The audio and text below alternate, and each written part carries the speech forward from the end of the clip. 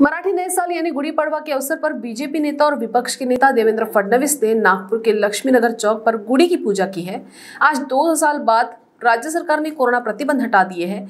महाराष्ट्र विपक्ष के नेता देवेंद्र फडणवीस ने महाराष्ट्र के लोगों को गुड़ी पड़वा और मुंबई मेट्रो में होने जा रहे उद्घाटन की शुभकामनाएँ दी। वहीं राज्य सरकार पर व्यंग कसते हुए कहा कि मेट्रो तीन अब तक शुरू हो गई होती, लेकिन अब उसके काम को और चार साल लगेंगे। वहीं उन्होंने रुके हुए कार्यों को जल्द से जल्द पूरा करने का प्रयास किए जाने चाहिए ऐसा भी कहा। जय श्री राम।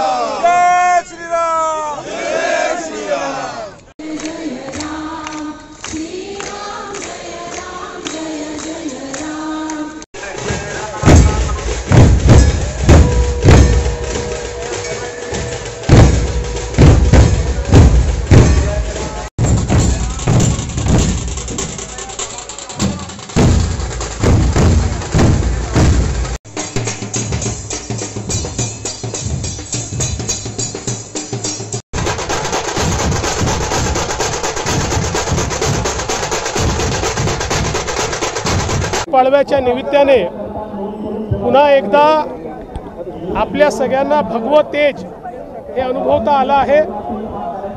आणि अतिशय उत्साहाने लोक नववर्ष साजरं करतायत. श्रीराम जन्मोत्सवाची सुरुवात देखील आज होते.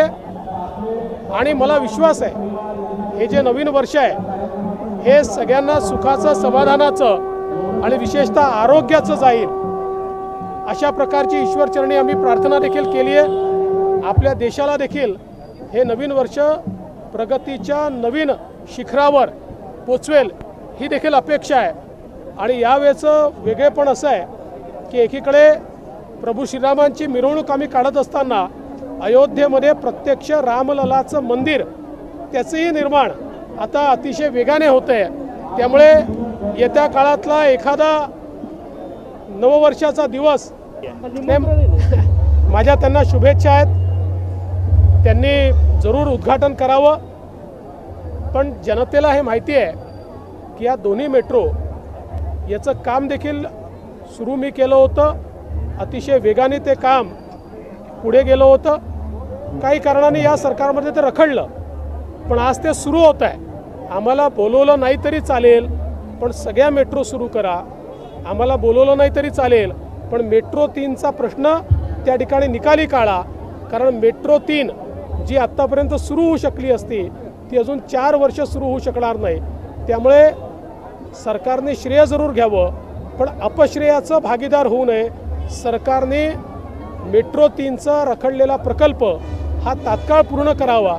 नऊ महिन्यामध्ये कारशेड हे आरेमध्ये पूर्ण होऊ शक देशाकरता. आहे आजचा संकल्प आपल्या देशाची सेवा करण्याची जी संधी ज्या प्रकारे मिळेल त्या प्रकारे त्या संधीचा उपयोग करून अधिकाधिक देशसेवा समाजसेवा कशी करता येईल हा प्रयत्न आम्हाला सगळ्यांनाच करायचा आहे आणि मला असं वाटतं की यापेक्षा मोठा संकल्प असूच शकत नाही. बाय सब जानना चाहते हैं। मेरा फेवरेट कलर मेरा फेवरेट डेस्टिनेशन मेरी फेवरेट डिश पर कोई ये नहीं पूछता कि फेवरेट डिश मैं बनाती कैसे हूँ। अरे यार। जिसे टेस्टी खाना पसंद है वो अच्छे टेस्ट तक पहुँच ही जाता है। सुरुचि मसाले। खाने में हो रुचि तो घर लाइए सुरुचि।